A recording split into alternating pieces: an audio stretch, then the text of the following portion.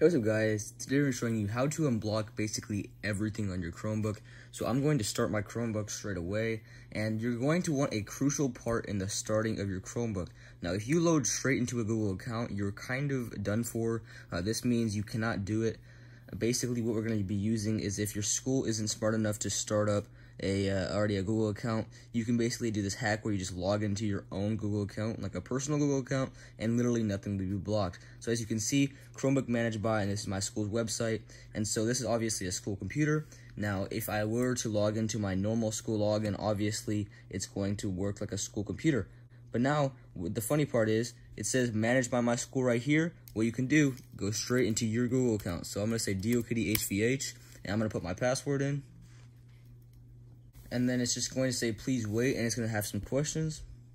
So now if you could hear to google assistant works here for you just say no thanks no thanks it gets started. And there you go. So now you can literally do whatever you want. You can go to whatever website you want to go. So i'm going to go to stake.com which is a gambling site. So this obviously would normally be blocked but here so there you go. So you literally can do whatever you want. Now, if you don't have an option to log in with your own Google account, there's another way. You can go to Google Translate. Now, if they block Google Translate, you're not in any luck, but what you're going to do is go to detect language. Now go to detect language to English. Now you're going to go to a website you want to go to. Let's say Facebook. Now you're going to go to the website. Now it's going to probably say blocked or something like that on your school Chromebook. Now just go up here and do Control C or you can manually copy it. And you're going to go to this link right here, translate.google.com. Now go to detect language to English, put your link in there, and then you're just going to click this link. This is a very nice tool by Google.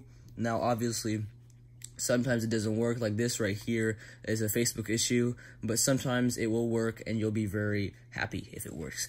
And so, yeah, this also works with settings, so you can do whatever you want in settings. You can make a new wallpaper, you can do whatever you want, but this will uh, change your Google account's wallpaper, so obviously you can open the wallpaper app and all of that.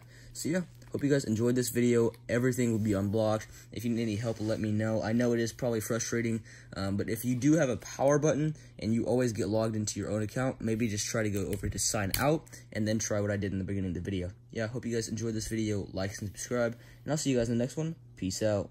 Make sure to subscribe to this channel for almost daily uploads. Also, don't forget to like and comment. See you next time.